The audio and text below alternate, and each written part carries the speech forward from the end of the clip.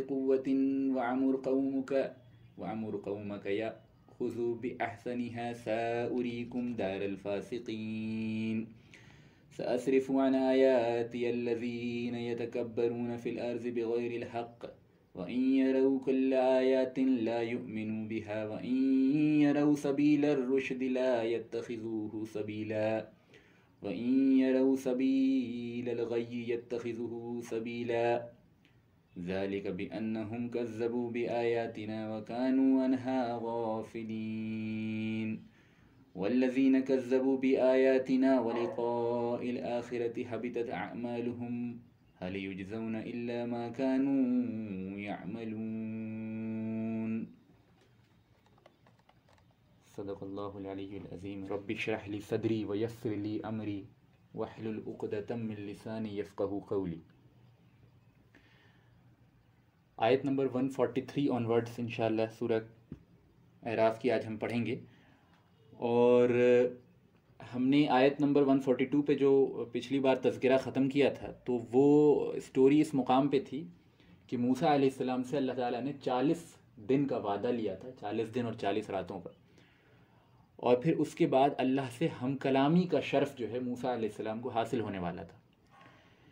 तो ये मशक्क़त व मुजाहिदे के बाद और इस मुसलसल रोज़े के बाद जब मूसा अलैहिस्सलाम कोहितूर पे पहुँचे हैं, जहाँ वक्त मुकर्र और जो जगह मुकर की थी अल्लाह रब्बुल ने कलाम के लिए तो वो कोहितूर था। इसका हरगिज़ मतलब ये नहीं कि अल्लाह कोहितूर पे मौजूद है। इस कस्म की यानी गैर अकली और बेवकूफ़ाना तस्वुर बिल्कुल नहीं होना चाहिए। अल्लाह जो है वो मखलूक़ात से बहुत मावरा, अर्श पे मुस्तवी है। ठीक है? और अल्लाह खालिक होने के नाते मखलूक के अंदर दाखिल नहीं होता, है ना? क्योंकि इससे फिर अल्लाह की सिफत की महदूदियत लाजिम आ जाती है।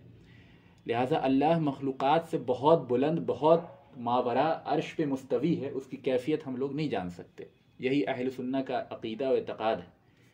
लेकिन अल्लाह ताला असबाब के ज़रिए कलाम करता है तो मूसा सलाम से भी अल्लाह ने कोहितूर पे ख़ास जगह ख़ास मुकाम पे हम कलामी के लिए, बातें करने के लिए और किताब यानी तौरात के नज़ूल के लिए एक जगह मुकर की। तो उस ताल्लुक़ से बातें चल रही थी। तो उसके बाद अल्लाह ताला फरमाता है, फ़लम, वलम्मा जा मूसा लिमी लिमिक़ातिना। कि जब मुकर्र किए हुए जगह और वक्त पे मूसा अलैहिस्सलाम पहुँच गए, व कल्लमहू रब्बुहू। और जब बातें शुरू हो गई, अल्लाह रब्बुल आलमीन में और मूसा अलैहिस्सलाम में बातें शुरू हुई और जब अल्लाह से हम कलामी का शर्फ मूसा अलैहिस्सलाम को नसीब हुआ। तो उसके बाद की उनकी कलबी कैफियत है, इसका हम, यानी तस्वुर भी नहीं कर सकते। अगर आप किसी वाकई अल्लाह वाले किसी नेक शख्स से भी मुलाकात कर लें, वाकई जिनके अंदर बुजुर्गी होती है, मैं नॉर्मल मौलाना या मौलवी की बात नहीं कर रहा, जो वाकई अल्लाह वाले होते हैं, जिनके अंदर जो है अमली ज़िंदगी में बुजुर्गी होती है, तकवा होता है, उनसे थोड़ी देर की मुलाकात अगर आप कर लें तो आपके दिल पे एक अजब किस्म का असर तारी होता है है ना? तो आप तस्वुर करें कि कोई भी अलिया अल्लाह जो है साहबा कराम से कमतर हैं और साहबा कराम अम्बिया आसमाम से कमतर हैं। और अम्बिया आसमाम जो हैं, वो अल्लाह रब्बुल आलमीन की मखलूक है। मखलूक की कोई हैसियत खालिक के मुकाबले में नहीं होती। तो अल्लाह खालिक होने की हैसियत से जब उनसे हम कलामी का शर्फ मूसा अलैहिस्सलाम को नसीब हुआ होगा तो उनकी जो कल्ब की कैफियत होगी, रूह की जो उनकी कैफियत होगी, जो एक सुरूर उनके ऊपर तारी होगा इसका तसव्वुर हमारी अकल, हमारा जहन जो है, हमारे दिल इसका तस्वुर नहीं कर सकते। बहरहाल कुरान ने बयान किया है तो उसका कमा हक हक तो अदा नहीं हो सकता, लेकिन एक अंदाज़ा हम लगा सकते हैं। व कल्लमहू रब्बू और जब अल्लाह ने उनसे कलाम किया, काल रब्बी अरनी, अंजुर इलैक, कि अल्लाह, मैं तुझे यानी तू अपनी ज़ात को मुझ पर ज़ाहिर कर, यानी अगर रवा तर्जुमा किया जाए तो लेकिन असल मतलब ये है कि अल्लाह, मैं तुझे देखना चाहता हूँ। तो अल्लाह ताला ने फरमाया, काल लन तरानी, कि तुम मुझे हरगिज़ नहीं देख सकते। अच्छा यहाँ पे एक चीज़ समझिए कि दौरान कलाम जो शौक़ और इश्तियाक का आलम रहा होगा मूसा सलाम का, वो परवान चढ़ा होगा और एक पॉइंट पे पहुँच के मूसा सलाम ने बेताबी में और बड़ी हिम्मत के साथ ये बात अर्ज़ की होगी अल्लाह की बारगाह में कि अल्लाह, मैं तुझे देखना चाहता हूँ। ज़ाहिर है कि अल्लाह का जलाल है, अल्लाह की बातें चल रही हैं। वहाँ पे मूसा सलाम पे किस कदर रौब तारी होगा, किस कदर जो है मूसा सलाम की शख्सियत के अंदर उस वक्त जो हलचल चल रही होगी, उस मौके पे हिम्मत ला के अल्लाह के सामने ये बात अर्ज़ करना कि अल्लाह, मैं तुझे देखना चाहता हूँ। ये मूसा सलाम की शख्सियत का एक, यूँ समझ लीजिए कॉन्स्टेंट आपकी शख्सियत का ये पहलू है जो हम हर जगह देखते हैं कि हिम्मत में और जसारत में और यूँ समझ लीजिए कॉन्फिडेंस में और शोखी में। इन सब चीज़ों में मूसा इस्लाम की शख्सियत बड़ी मुमताज़ है। आप कुरान के अंदर जहाँ भी मूसा सलाम का तस्करा देखते हैं, उसमें ये पहलू मूसा इस्लाम का बड़ा गालिब है।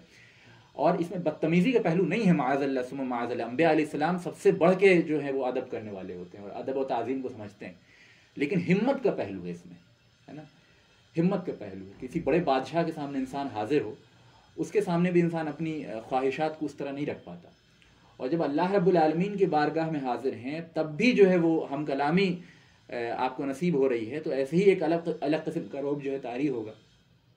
ऐसे मौके पे हम कलामी के साथ साथ जो है वो देखने का जो, यानी डिमांड पेश करना, ये मूसा सलाम की जसारत थी, उनकी ही ताकत थी, और उनकी ही शख्सियत थी कि वो इतने कॉन्फिडेंटली एक काम कर पाए। और कुरान के अंदर ये मुसलसल थीम आप देखते हैं कि मूसा इस्लाम की शख्सियत में ये जो प्रॉम्प्टनेस है ना, ये जो कॉन्फिडेंस है ना वो उनकी अमली ज़िंदगी में बार बार देखने को मिलता है। ये शुरू से हम इस बात को नोट करते आ रहे हैं। तो बहरहाल अल्लाह ने इसका जवाब दिया, कौल लन तरानी। अल्लाह ने कहा, लन तरानी, तू मुझे हरगिज़ नहीं देख सकता। वलकिन ज़ुर इलल जबली। अब यहाँ पे एक बात समझ लीजिए, बड़ा यहाँ पे एक यूँ यानी जिसको कहते हैं बारीक और बहुत ही ख़तरनाक मोर है कुरान मजीद के अंदर। अल्लाह ने कहा, तू मुझे नहीं देख सकता। तो ये जो देखना है ना, ये इंसान का अल्लाह का दीदार जो है ये दुनिया के अंदर के हद तक है। वरना क़यामत के दिन अल्लाह ताला हमारी तख्लीक को रीन्यू करेगा, है ना? हमारे सॉफ्टवेयर को अपडेट करेगा कुछ इस तरह कि क़यामत के दिन अहल जन्नत के लिए ये पॉसिबल होगा कि वो अल्लाह को देख सकते हैं। कुरान के अंदर भी इसकी शहादतें मौजूद हैं। और अहादीस में बहुत, यानी तफसील से इस चीज़ को बयान किया गया है कि जन्नत के अंदर भी और मैदान महशर में भी अल्लाह का एक ख़ास वजूद जो है वो ज़ाहिर होगा, जिसको यानी अहल ईमान देखेंगे और जन्नत के अंदर अल्लाह अपने, कमा हक़ जो अल्लाह के वजूद है, उसको समझने की, उसके दीदार की और उससे मार्फत हासिल करने की। जैसे हमें अल्लाह की ज़ात से कोई मार्फत हासिल नहीं है दुनिया के अंदर। अल्लाह की सिफ़ात का उर्फ़ होता है, अल्लाह की सिफ़ात की समझ पैदा होती है, लेकिन अल्लाह की ज़ात के बारे में हम कुछ नहीं जानते।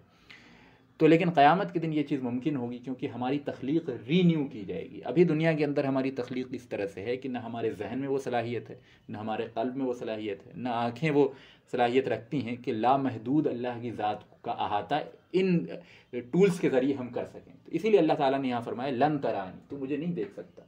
और ये जो नफ़ी है ना, अल्लाह ताला ने जो इनकार किया है कि तू मुझे नहीं देख सकता, ये महदूद है दुनिया के अंदर।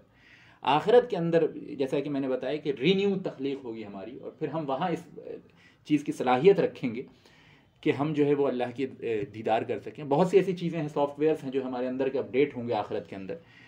क्योंकि आप जानते हैं कि बहुत सी ऐसी चीज़ें हैं जो दुनिया के अंदर हमारे जज्बात हैं, बहुत सी दुनिया के अंदर हमारी जो कमज़ोरियाँ हैं वो आखिरत में नहीं रहेंगी, ठीक है? तो वहाँ ये चीज़ मुमकिन है। लेकिन दुनिया के अंदर अल्लाह ने नफ़ी फरमा दी तो मुझे नहीं देख सकता। लेकिन अल्लाह ने फिर एक उपाय भी बताया। एक तरीक़ा बताया, वलकिन ज़ुर इलल जबल लेकिन उस पहाड़ की तरफ़ देखो, अब ये इशारा को हितूर की तरफ़ है। फ़िन इस्तकर मकान हूँ फ़सऊ फ़तरानी कि अगर वो अपनी जगह पे कायम रह जाए तो तुम मुझे देख सकते हो। अब यहाँ पे अल्लाह ताला ने मिसाल के ज़रिए मूसा सलाम को समझाने की कोशिश की है कि ज़ाहिर अल्लाह अगर डायरेक्टली ये बात कह देता, लन तरानी कि तू मुझे नहीं देख सकता तो भी अपने आप में सफिशेंट थी, और मूसा सलाम को कभी इस बात पर कोई शक नहीं होता। लेकिन किसी चीज़ का आँखों से मुशाहिदा करना और किसी चीज़ का सुन लेना कितने भी यकीन के साथ हो, बराबर नहीं हो सकता। जैसे कि अल्लाह के रसूल वसल्लम की हदीस है कि लई सल खबरू कल मुआयना कि जो खबर है, किसी चीज़ का जानना है, सुनना है, वो कभी भी देखने के जैसा, मुशाहिदे के जैसा नहीं हो सकता, कभी नहीं हो सकता, कितना भी यकीन पुख्ता हो जाए। और मुशाहिदे से जो यकीन पैदा होता है ना, वो बहुत ज़िंदा पैदा होता है। इसी वजह से हम देखते हैं कि अम्बिया को दुनिया और आखिरत के राज और कायनात के राज, राजों का मुशाहिदा कराया जाता है। अम्बिया आसमाम को जैसे रसोल्ला वसम को मराज का एक शर्फ हासिल हुआ, जिसमें कायनात के अनगिनत राज आपके ऊपर मुनकशिफ किए गए, ताकि आपकी जो कलबी कैफियत हो, ताकि आपका जो यकीन का आलम हो, वो तमाम दुनिया से बहुत बुलंद हो, कि आप यकीन की उस मुकाम से जब दावत देंगे ना तो बात बहुत मुअसर होती है। आप जिस चीज़ का जितना ज़्यादा यकीन रखते हैं, उतनी ज़्यादा आपके कलाम में तासीर पैदा होती है, ठीक है? तो अम्बिया सलाम का काम कुछ इस नौीयत का होता है कि उनका यकीन अवामनास से और आम अलिया अल्लाह से, आम अल्लाह के नेक बंदों से, आम सालहीन से, आम मुतकीन से बहुत बुलंद होना चाहिए। तभी वो उस मुकाम से जब दावत देंगे तो अल्लाह की मखलूक पे हकीकतें मुनकशिफ हो पाएँगी। अल्लाह की मखलूक को सही बात सही लग पाएगी। ठीक है? तो ये अम्बिया सलाम के साथ ख़ास मामला अल्लाह का होता है कि बाज़ हक़ायक कायनात के अम्बिया सलाम को दिखाए जाते हैं। ठीक है? इसमें अम्बिया सलाम का कोई शरीक नहीं होता। आम अलिया अल्लाह जो हैं, आम अल्लाह के नेक बंदे हैं, उनका मुशाहिदा उस लेवल का नहीं हो सकता, जिस तरह से अम्बे सलाम का होता है। तो मुआयना जो होता है, मुशाहिदा जो होता है, वो एक अलग किस्म का यकीन पैदा करता है। ख़ुद अल्लाह के रसूल की हदीस इस मामले में मौजूद है, जो मैंने आपके सामने बयान की। तो अब अल्लाह ने चूँकि ये बात कहने के बाद इस चीज़ का एहसास भी मूसा सलाम के कल्ब पे और उनकी वजूद में बहुत पुख्ता करना था अल्लाह ने एक ख़ास किस्म का मुआवजा, एक ख़ास किस्म की चीज़ जो है दिखाई है। कहा कि तुम उस पहाड़ की तरफ़ देखो, है ना? अगर वो अपनी जगह पे कायम रहता है तो तुम मुझे देख पाओगे। उसके बाद अल्लाह ने क्या क्या किया? फलम्मा तजल्ला रबू जबल जालहू दक्का। उसके बाद उसके रब ने, यानी अल्लाह ने तजल्ली भेजी अपनी, लिल जबल, उस पहाड़ के ऊपर। अब ये तजल्ली क्या है? तजल्ली जो है वो असल में अहलुलगत के नज़दीक और जो मैं तफसीरों में पढ़ रहा था, मारिफुल कुरान वगैरह में मुफ्ती मोहम्मद शफ़ी ने बहुत से ओपिनियंस को बयान किया है। असल में तजल्ली जो मैं समराइज़ कर पाया हूँ, वो ये कि तजल्ली कहते हैं किसी भी चीज़ के अक्स को। और अक्स कभी भी ओरिजिनल नहीं होता। यानी आप जो आईने में अपने आप को देखते हैं या शेडो जो आपका बनता है, वो आपकी कंप्लीट अक्कासी तो करता है, लेकिन वो आप नहीं होता है। है ना? यानी आपका वजूद जो है वो आईने में जो आप देख रहे होते हैं, वो एक शेडो होता है, एक इमेज होता है। That is not your real self ठीक है? तो तजल्ली भी जो है ना, अल्लाह की तजल्ली जो है, अल्लाह के नूर का, अल्लाह की वजूद का एक अक्स है। और वजूद का कितनावा हिस्सा? इसकी, इसका ज़िक्र जो है इमाम अहमद रही की मुस्ंद अहमद में उन्होंने एक हदीस नकल की है, हज़रत अनस रज़ी अल्लाह से।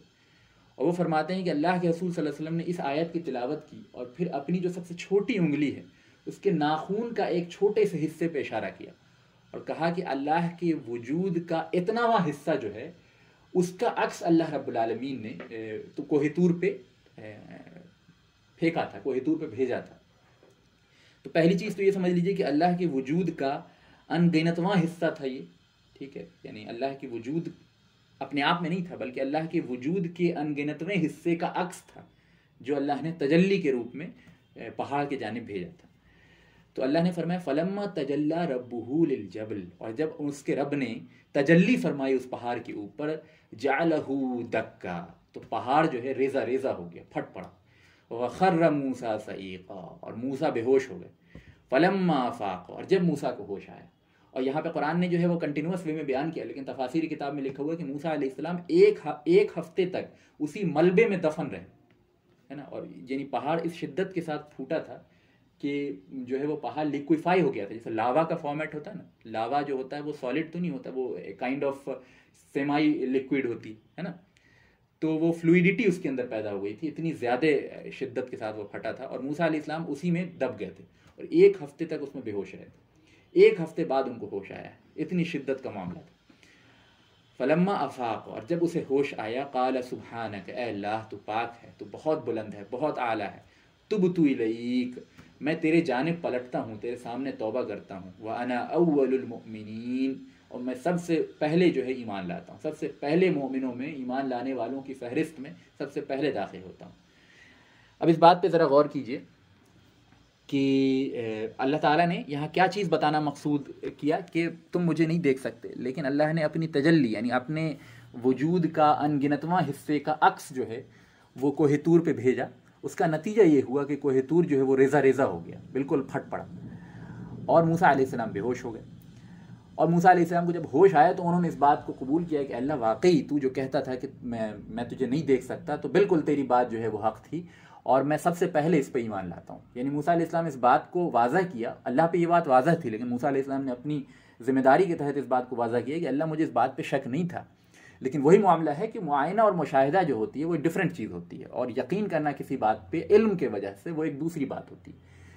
तो मूसा इस्लाम ने इस बात को वाजा किया, अल्लाह मैं तेरे सामने तौबा करता हूँ, अगर मेरी डिमांड जो है मेरी औकात से बढ़ के थी और मेरा मांगना जो है मेरे शर्फ से और मेरे वक़ार से ऊपर की चीज़ थी, जो कि थी तो अल्लाह मैं सबसे पहले तुझ पे ईमान लाता हूँ और तुझ, तेरे सामने जो है तौबा करता हूँ। हालाँकि ये अपने आप में कोई गुनाह नहीं था। अगर गुनाह होता तो अम्बिया मासूम अनिल ख़ता होते हैं, गुनाहों से पाक होते हैं, ठीक है? लेकिन ये एक जसारत थी, एक एक एक यूँ समझ लीजिए कि एक शोखी थी मूसा इस्लाम की जिस पे अल्लाह ताला ने अपने करीमाना अंदाज में और अपनी आज़मत का सही तरीके से एहसास मूसा इस्लाम को करा दिया और मूसा इस्लाम ने अल्लाह से तौबा कर ली इस मामले से। तो यहाँ पे एक बहुत अहम बात है जो नोट करने की है कि मूसा इस्लाम की ये डिमांड और अल्लाह ताला का इस तरह से अपनी तजल्ली का, अपने अक्स का कोहतूर पे भेजना और इसके नतीजे में जो कोहतूर चूर चूर हो गया है, गोया कि अल्लाह के वजूद और अल्लाह के अक्स को पहाड़ जो है बर्दाश्त नहीं कर सकते और ये पहाड़ ही का मामला नहीं है, पूरी की पूरी कायनात जो है, वो अल्लाह के वजूद के मुकाबले में कोई हैसियत नहीं रख रखती। यानी अगर वजूद का कंपैरिजन किया जाए तो कायनात का वजूद जो है वो अल्लाह के वजूद के मुकाबले में कोई हैसियत नहीं रखता, क्योंकि अल्लाह खालिक है और खालिक जो है, मखलूक खालिक के मुकाबले में कोई हैसियत नहीं रख सकती, क्योंकि अगर मखलूक की हैसियत खालिक के मुकाबले में बहुत थोड़ी भी हो, बहुत ज़र्रे के बराबर भी हो तो भी ये खालिक के लिए महदूदियत को लाजिम करती है है ना? तो यानी अल्लाह चूँकि महदूद नहीं है, अल्लाह ताला गैर महदूद है ला महदूद है, उसके मुकाबले में कायनात बतमाम कमाल जो है, वो अपने आप में कोई वजूद नहीं रखती। इसका हरगिज़ ये मतलब नहीं कि हम कायनात के एग्जिस्टेंस की नफ़ी कर रहे हैं, नहीं, लेकिन अल्लाह के बिलमुकाबिल इसका कोई वजूद नहीं, कोई हैसियत नहीं। पहाड़ का एग्ज़ाम्पल सिर्फ़ इसलिए लिया कि इंसानी तस्वुर में जो चीज़ें वो देख रहा है और जो चीज़ें वो अपने आसपास मुशाहिदा कर रहा है, उसमें सबसे मज़बूत चीज़ उसे पहाड़ लगती है। लिहाजा अल्लाह ने पहाड़ को रेज़ा रेज़ा करके ये साबित किया कि अल्लाह की तजल्ली, अल्लाह के वजूद और अल्लाह के अक्स को जब पहाड़ बर्दाश्त नहीं कर सकता, जो तुम्हारी नज़र में मूसा सबसे मज़बूत शय है तो तुम्हारी तो फिर इंसान की तो कोई बसात ही नहीं, कोई औकात ही नहीं कि वो अल्लाह के वजूद को बर्दाश्त कर सके इस दुनिया के अंदर। वरना तो अल्लाह के वजूद को पूरी कायनात बर्दाश्त नहीं कर सकती। खुद अल्लाह के रसूल वसल्लम की हदीस है कि अल्लाह रब्लमिन अगर अपने पर्दे को हटा ले तो पूरी कायनात जो है अल्लाह के नूर और जलाल से जल के ख़त्म हो जाएगी। तो अल्लाह का वजूद बहुत बुलंद और बहुत मावरा है, हमारी अकलें वहाँ तक नहीं पहुँच सकती। लेकिन पहाड़ सिर्फ़ इसलिए बताया है ताकि इंसान के तस्वुर में जो मज़बूत तरीन शय दुनिया के अंदर वो देखता है, वो पहाड़ है। ठीक है? एक बात। दूसरी बात, अल्लाह ताला ने कुरान के अंदर, एक दूसरे मुकाम पे सूर्य हशर के अंदर एक ख़ास बात इरशाद फरमाई है। और सिर्फ़ ये ये बातें सिर्फ़ दो जगह कुरान के अंदर मौजूद है। एक यहाँ जो आप अपने सामने देख रहे हैं और दूसरा सूर्य हशर के अंदर।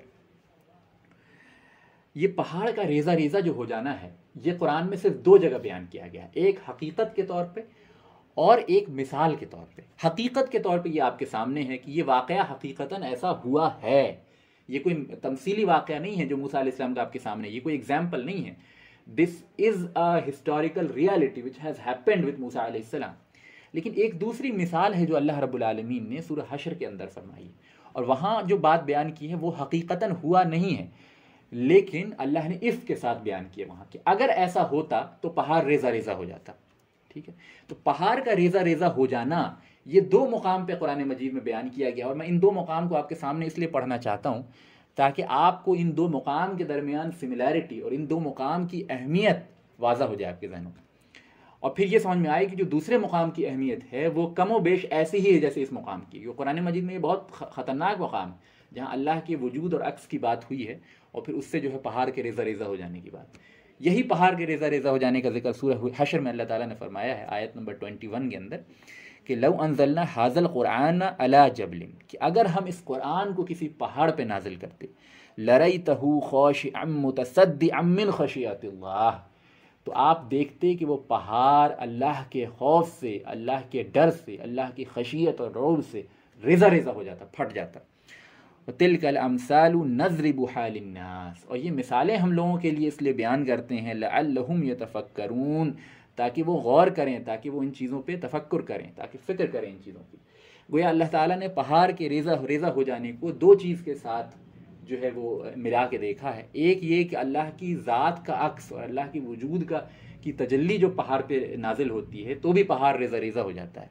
और दूसरी तरफ़ अल्लाह रबालमीन का कलाम हकीकी, यानी कुरान मजीद, जब पहाड़ पे अगर नाजिल होता, यहाँ वलऊ के साथ है, लऊ लऊ के साथ है, लऊ जो है वो, यानी यानी इफ़ के लिए इस्तेमाल होता है, शर्त के लिए इस्तेमाल होता है।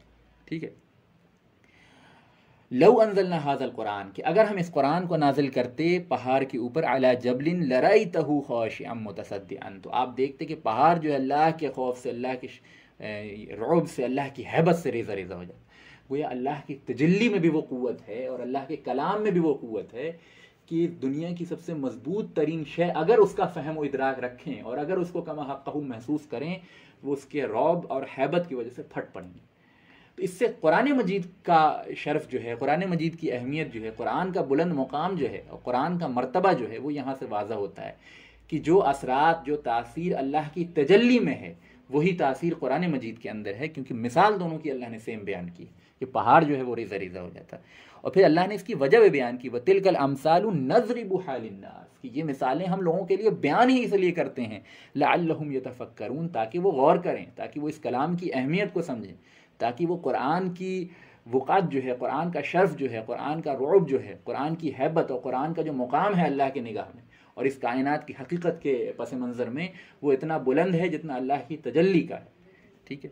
तो ये बड़ी खूबसूरत मिसाल थी जिसका समझना बहुत ज़रूरी था और इसलिए मैंने ये बात आपके सामने जो है वो वाजह की है। आगे चलते हैं इस आयत के बाद।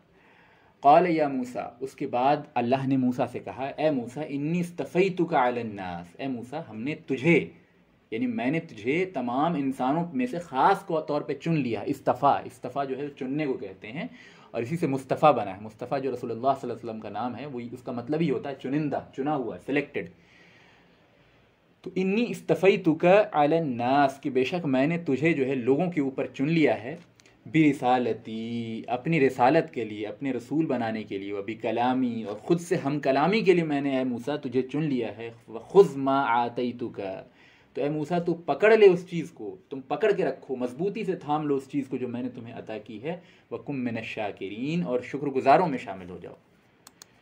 कोई बात हुई है क्या? तजल्ली की मीनिंग एक बार बता दें। तजल्ली का मतलब दर हकीकत होता है किसी भी चीज़ के अक्स को ज़ाहिर करना। किसी भी चीज़ के अक्स को ज़ाहिर करना। इसके कई मानी जो हैं वो लगत में बयान किए गए हैं और बड़ी तफसीली गुफ्तु इस पर है। मैं आपको उन तमाम डिस्कशन का, की समरी बता रहा हूँ। वैसे भी मैं जो यानी आपके सामने तफासिर बयान करता हूँ, वो मुख्तलिफ़ तफासिर के का, यूँ समझ लीजिए कि समराइज वर्जन है। इसमें मेरा कुछ भी नहीं है अपना। वो सब जो है वो हमारे बुज़ुर्गों और किए हुए काम हैं। उनकी समरी मैं आपके सामने जो है आसान ज़बान में बयान करता हूँ।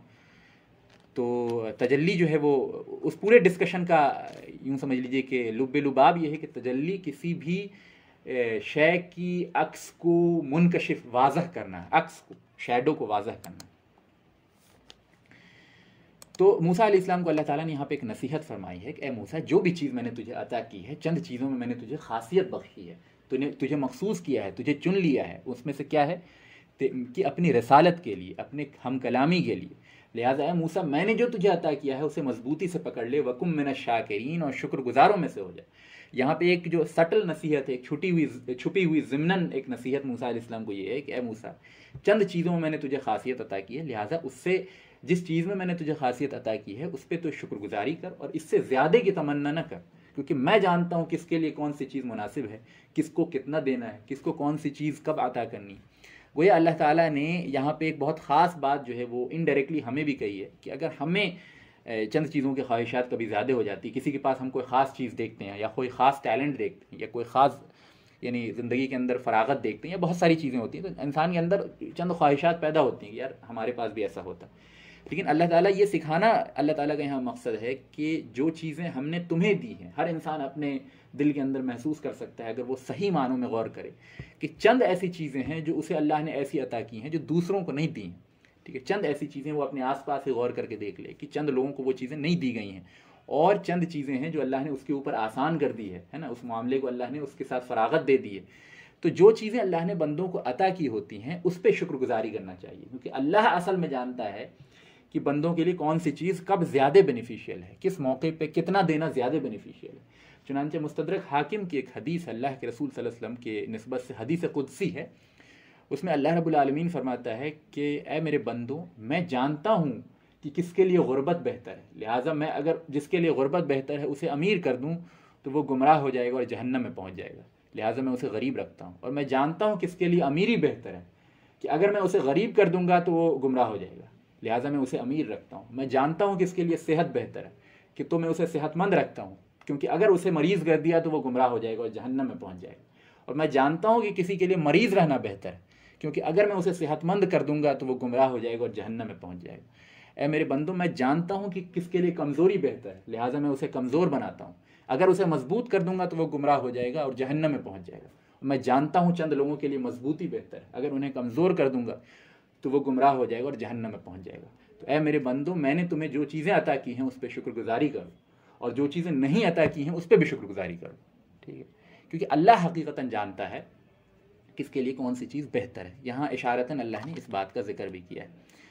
वह कतबना लहू फिल अलवाही मिनकुल्ली शैन और हमने तख्तियों पे मूसा सलाम को, तमाम नसीहतों को, व तफसील लिकुल्ल शैन और हर मामला की तफसील जो है, वो तख्तियों पे लिख। गोया ये तौरात का ज़िक्र यहाँ पे हो रहा है कि तौरात का जो नजूल मूसा सलाम के ऊपर हुआ है, वो तख्तियों के फॉर्मेट में हुआ है। ठीक है? व खुद हा बेकुतिन ए मूसा, इन चीज़ों को बड़ी क़ुत के साथ पकड़ लो। यानी इस किताब को बड़ी मजबूती से पकड़ लो। व अमुर कौम का खजूब अहसनी है और अपनी कौम को इसकी अच्छी बातों पर अमल करने की तरगीब दो। अपनी कौम को इसकी अच्छी बातों पर अमल करने का हुक्म दो। साउकुम दारफ़ासकीन अन करीब मैं तुम्हें अल्लाह के नाफरमानों का, अल्लाह के बागियों का, अल्लाह के फासिकों का जो है अंजाम दिखाने वाला हूँ। वह यहाँ पे मूसा सलाम को जो तौरात अता की गई है हम कलामी के बाद, वो असल में तख्तियों पे अता की गई। अलवाह, लूह की जमा है, लौह, है ना? उसकी जमा अलवाह है। ठीक है? तख्तियाँ। तो ये अब तख्तियाँ किस तरह की थी? इसका इल्म अल्लाह बेहतर रखता है। ये तख्तियाँ मूसा सलाम को दी गई थी, जिनमें जो है तौरात लिखी हुई थी और जिसमें नसीहत थी और तफसील थे अहकाम के। ये मूसा सलाम को दिया गया और कहा कि इसे मजबूती से पकड़ लो और अपनी कौम को इस चीज़ का हुक्म दो। अनकरीब मैं तुम्हें फासिकों का अंजाम दिखाऊँगा। ठीक। ससरिफू अन आयातीन यतकबरून फिल अर्ज़। और अनकरीब मैं फेर दूँगा। असरिफू असरिफू सरफ से बना है। सरफ का मतलब किसी रद्दबदल, फेरना। सरफ़ जो है वो अरबी लिटरेचर के अंदर, अरबी ज़बान के अंदर ऐसे इल्म को भी कहते हैं कि सेम वर्ड से मुख्तलिफ़ वर्ड बनाना, जैसा इल्म से है ना, तालीम आलिम, मालूम। तो इसी तीन हरफ से मिला के कई मुख्तलिफ़ वर्ड्स को बनाना इसको सर्फ कहते हैं। इसको सर्फ क्यों कहते हैं कि इससे, इसके ज़रिए सेम यानी यूँ समझ लीजिए कि अल्फ़ाबेट्स को फेर फेर करके मुख्तलिफ़ वर्ड्स बनाए जाते हैं। तो यहाँ जो सर्फ है, वो भी फेरने के माने में इस्तेमाल हुआ है। असरिफू अन आयाती यतकबरून फ़िलहाल कि अन करीब मैं अपनी आयतों से, अपनी निशानियों से फेर दूँगा। यानी मेरी निशानियाँ उन पर असरअंदाज नहीं होंगी। अल्लाह ने यहाँ, अब ये आयत बड़ी अहम है, मैं चाहता हूँ कि आप, और ये आखिरी आयत होगी जो आज हम पढ़ेंगे। तो मैं चाहता हूँ कि इस पर आप ज़रा तवज्जो दें। यहाँ अल्लाह ताला ने बड़ा एक अहम उसूल बयान किया है कि हिदायत का उसूल क्या है? और अल्लाह ताला किसी के लिए गुमराही को अगर लिख देता है तो वो किन वजूहत के बिना पे अल्लाह ताला हिदायत को सलब कर लेता है, छीन लेता है, हिदायत के रास्ते बंद कर देता है? ठीक है वो यहाँ बयान किया गया इस आयत के अंदर 146 सूरह आराफ के अंदर। अल्लाह ने बयान किया असरिफू अन आयातीन यतकबरून फिल अर्ज़ अन करीब मैं अपनी आयतों से, अपनी निशानियों से फेर दूँगा उन्हें, जो ज़मीन के ऊपर तकबर करते हैं बड़ाई ख्याल करते हैं, अपने आप को आला समझते हैं, अपने आप को बड़ा समझते हैं, हक का इनकार करते हैं, है ना? हक के पेश करने वालों की कमज़ोरियों की वजह से उन, उस हक का इनकार कर देते हैं। अल्लाह के रसूल वसल्लम से पूछा गया तकबर क्या है? फरमाया तकबर यह है कि अपने आप को आला समझे दूसरों से। और हक का, यानी अगर उसके पास कोई सही बात आ जाए, किसी कमज़ोर शख्स की वजह से या किसी ऐसे इंसान की तरफ़ से जो बहुत मज़बूत नहीं है, या दर्जे में उससे कमतर है दुनियावी एतबार से तो फिर वो हक का इनकार कर दे। इसको तकबर कहते हैं। और ये बड़ी, यानी ख़तरनाक बात है। अल्लाह ने सबसे पहला रीज़न जो बयान किया है, सबसे पहली वजह जो बयान की है, जिसके ज़रिए इंसान के लिए हिदायत के रास्ते बंद हो जाते हैं अल्लाह के कानून के तहत, अल्लाह की सुन्नत के तहत। वो ये है कि उसके अंदर तकबर का एलिमेंट हो, बड़ाई का एलिमेंट हो। अपने से छोटों से वो नहीं सीख सकता हो, अपने से कमतर से वो चीज़ें नहीं सीख सकता हो, अपने आप को आला समझता हो। तकबर ये चीज़ है, और ये बहुत बुरी चीज़ है, ठीक है? और ये पहली चीज़ है, ये ये सिफत अगर किसी के दिल के अंदर है डायरेक्टली इनडायरेक्टली छुपी हुई, ज़ाहिर तो ये चीज़ हक़ के कबूलियत में सबसे पहले रुकावट बनती है। असरफुन आयाती। यहाँ आयात से मुराद जो है वो सिर्फ़ कुरानी आयात नहीं है या तौरात की आयात नहीं है, बल्कि अल्लाह की निशानियाँ जो सुबह शाम हमारे आसपास दिखती हैं, उन पर भी गौर फ़िक्र करने का जो जज्बा है, उन पर जो गौर फ़िक्र की सलाहियत है, उन पर सही तरीके से रिसर्च करके इंसान अल्लाह की वजूद और अल्लाह की वहदानियत और अल्लाह की किब्रियाई और अल्लाह की आज़मत को जो पहचानता है ये सलाहियतें भी छीन ली जाती हैं, किन से? यतकबरून फ़िल आर्ज़ बग़ैर हक़, जो बग़ैर हक़ के ज़मीन पर तकबर करते हैं। इन यरकुल्ल आयातिन ला युमिनु बिहा।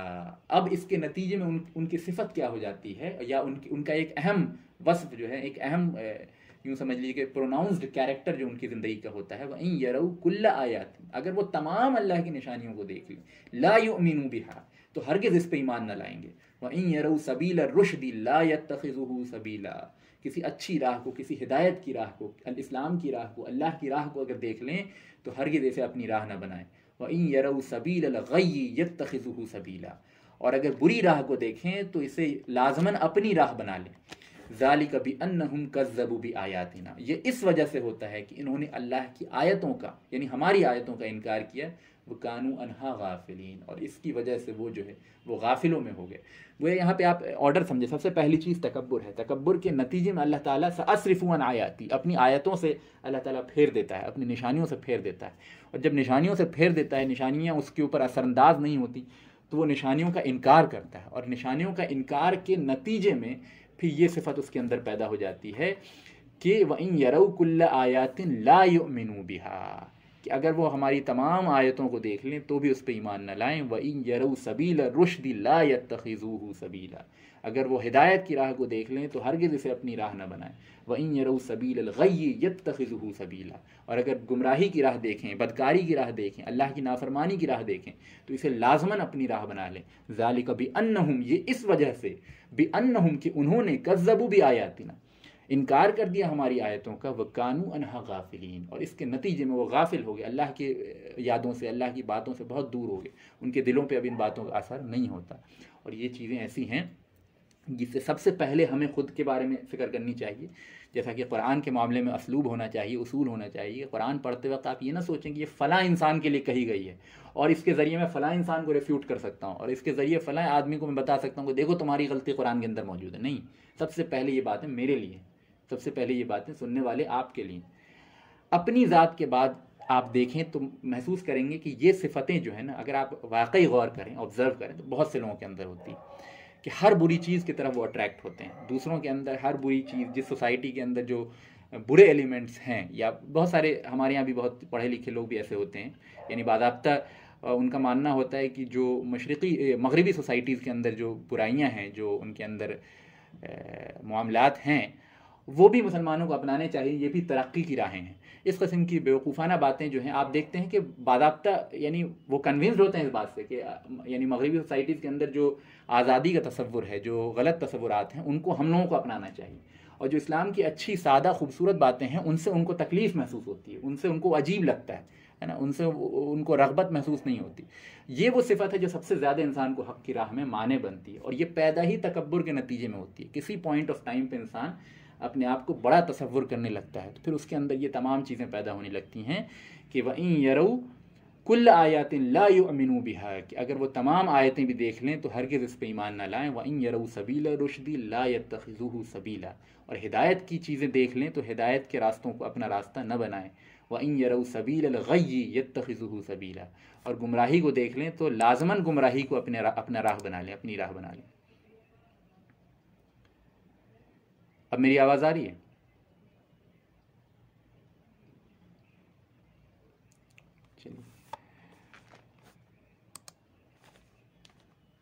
आखिरी आयत पढ़ते हैं इंशाल्लाह।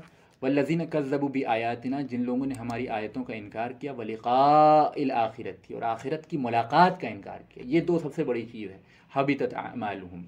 तो हम उनके अमाल को बिल्कुल, उनके अमाल जो है, गारत हो गए बिल्कुल।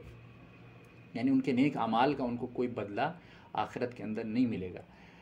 हल युजौन इल्ला कानू यामलून और ये, यानी अल्लाह सवालिया है, लेकिन हकीकत में, हकीकत से आगाही यहाँ पर मकसूद है कि और उनको, उनके किए हुए की जजा जो है, जो अमाल वो करते थे, ये उनके किए हुए की जजा ही होगी।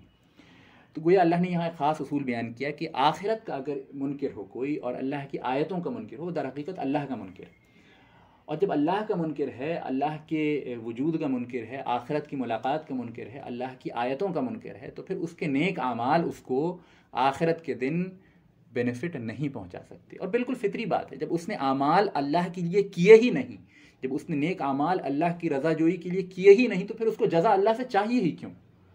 है ना? जब उसने किए ही नहीं अल्लाह के लिए, जब उसने सही गलत का वो पैमाना माना ही नहीं जो अल्लाह ने तय किया है तो फिर उसे अजर व सवाब भी अल्लाह से क्यों चाहिए? बिल्कुल अकली बात है। तो मैं इंशाल्लाह यहाँ पे अपनी बात को ख़त्म करूँगा। इस उसूल के साथ कि आखिरत का मुनकर और अल्लाह की आयतों के मुनकर की नेकियाँ जो है, उसका अजर सवाब उनको दुनिया ही के अंदर मिल जाता है। आखिरत में उनके लिए कोई हिस्सा नहीं होगा। अल्लाह ताला इससे हम लोगों को महफूज फरमाए तकबर से अल्लाह ताला सबसे ज़्यादा महफूज फरमाए, घमंड से महफूज फरमाए। आमीन या रब्बुल आयत नंबर 148 ऑनवर्ड्स जो है, वो इन हम नेक्स्ट टर्न पे पढ़ेंगे। तो इसके साथ